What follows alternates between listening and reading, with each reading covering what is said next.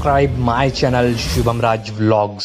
दोस्तों, आज हम गाड़ी के खर्च के बारे में बात करने वाले हैं। आज मैं आयशर ग्यारह चौदह एक्सपी के खर्च के बारे में आप लोगों को बताऊँगा कि इस पे इस पे जो स्टाफ होता है, उस स्टाफ का खर्च क्या होता है प्लस साथ में दूसरे खर्च भी गाड़ी के कई सारे खर्च होते हैं। तो आज उन सभी खर्चों के बारे में मैं आप लोगों को बताऊँगा।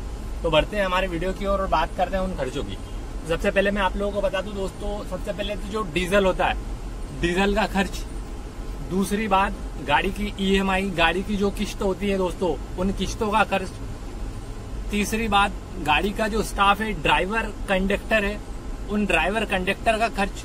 दूसरा, उन लोगों के खाने पीने का खर्च। जी हाँ बिल्कुल सही सुना आप लोगों ने।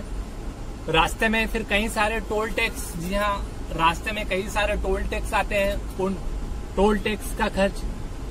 अगर कहीं से गाड़ी लोड हुई है और कहीं गाड़ी खाली हुई है तो उस दौरान हेम्माल हेम्माल समझते हैं, जो गाड़ी को माल भरते हैं, गाड़ी का माल उतारने का काम करते हैं तो उन हेम्माल का खर्च भी होता है।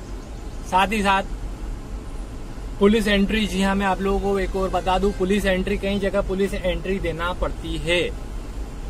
हाँ पुलिस एंट्री कई जगह देना पड़ती है। तो ऐसे कई सारे खर्च होते हैं, आयसर ग्यारह चौदह एक्सपी के साथ में। एक बार मैंने एक वीडियो बनाया था, इसमें आयसर ग्यारह चौदह एक्सपी की इनकम के बारे में बताया था। तो उस पर भी मैं क्लियर कर दूँ कि हमेशा वो इनकम पॉसिबल नहीं है।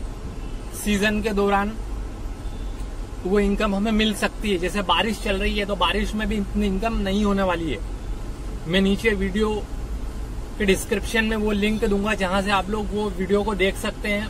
और वहाँ से आप लोगों को पता चलेगा कि इनकम ऑफ़ आइसर ग्यारह चौदह एक्सपी प्रीवियस में मैं एक वीडियो इसका बना चुका हूँ। तो कुल मिलाकर इतने सारे कई प्रकार के खर्च जी हाँ दोस्तों, कई प्रकार के खर्च आइसर ग्यारह चौदह एक्सपी के साथ जुड़े हुए होते हैं। किसी भी गाड़ी का मेंटेनेंस दोस्तों कोई छोटी मोटी बात नहीं होती है, बहुत सारे खर्चे साथ में एसोसिएटेड होते हैं। तो जैसा कि मैंने आप लोगों को खर्चों के बारे में बताया दोस्तों, अगर वीडियो अच्छी लगी हो तो मेरे चैनल को सब्सक्राइब कर दीजिए। धन्यवाद।